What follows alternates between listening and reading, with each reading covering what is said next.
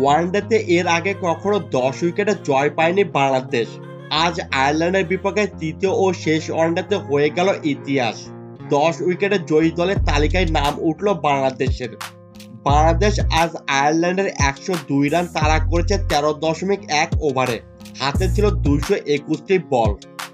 বলার হিসেবে টাইগারদের এর চেয়ে জয় আছে আর মাত্র একটি। এর আগে দুই সালে জিম্বাবুয়েকে চট্টগ্রামে দুইশো উনত্রিশ বল হাতে রেখে হারিয়েছিল বাংলাদেশ। সেই জয়টা ছিল ছয় উইকেটের। দশ উইকেটে না হলেও এর আগে প্রতিপক্ষকে নয় উইকেটে পাঁচবার হারানোর রেকর্ড আছে বাংলাদেশের। এর মধ্যে দক্ষিণ আফ্রিকার মতো দলকে হারিয়েছে দুইবার। ওয়েস্ট ইন্ডিজ, জিম্বাবুয়ে ও কেনিয়াকে হারিয়েছে একবার করে।